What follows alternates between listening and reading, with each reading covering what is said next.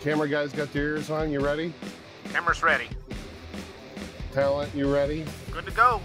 Graphics, you ready? Hello, graphics. Graphics, you there? Hello?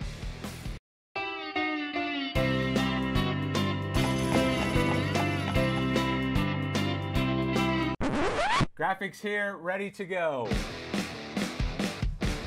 My name is Rob Moser and tonight I'm doing graphics for the Pittsburgh Riverhounds and thanks to NDI I'm doing it from my home office. Normally I would get in my car and drive two hours one way uh, to get to the game and two hours after the game was over I would get home from a game at 2.30 in the morning. You know, when it's a Friday or Saturday night game, that's not necessarily as big a deal as if it were during the week, but it sure is nice to be able to my job here to be wrapped up at 10 o'clock, 10.30 at the latest after a game night. Uh, now, um, with all the different apps and the tools that NewTek has available, a lot of them are free, you can actually call up any source in my switcher. So I, the secret to this is I'm running TeamViewer 10.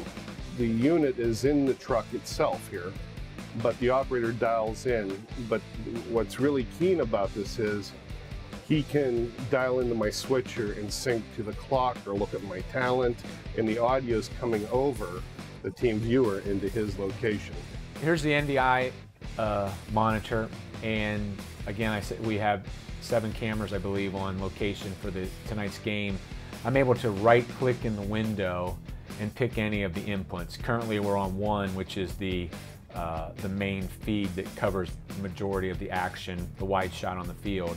Um, but I can actually go in and pick a different camera angle and see this. Um, in our application, because we don't have the uh, scoreboard synced into the truck, um, one of the applications is this, this camera here will, at the beginning of the game, will zoom in on the scoreboard so that I can use my uh, Score HD software to sync the clock here and as soon as I've got the times matched, then we animate the scoreboard in uh, on top of the, the action. Um, but again, I can cycle through any of the inputs, any of the cameras. That's a field camera. Um, there's one of the GoPros. Before the game, when we're doing rosters and stuff, I'll just take a photo of the phone and email it to him. So he gets the rosters on his phone, he calls it up on his monitor, and he can do all the starting lineups and program everything just, just as if he was right next to me.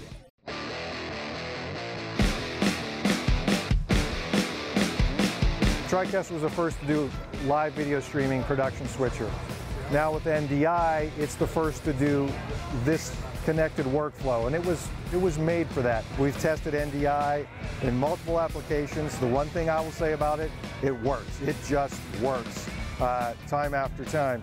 They saw the future of where things going and the power of IP connectivity and what it could do in giving people production tools and resources from anywhere in the world. It's game changing because, you know, it makes it even a, a, smaller world. We could have a TriCaster anywhere in the world and I would see the possibility that we could bring in cameras from anywhere in the world and switch a live production from here while all of our cameras are deployed elsewhere.